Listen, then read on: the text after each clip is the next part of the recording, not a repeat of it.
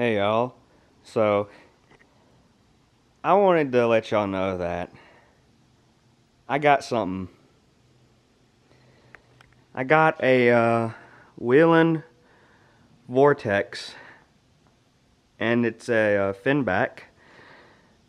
I got it from Trains and Sirens 1 for free because I have no controls or speaker drivers and the rotators messed up in some way.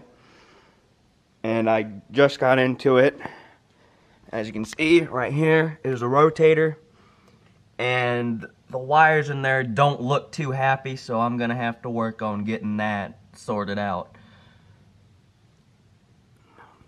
But yeah I just wanted to let y'all know that I got this thing. So it'll be a nice fun little project for me to work on. See y'all later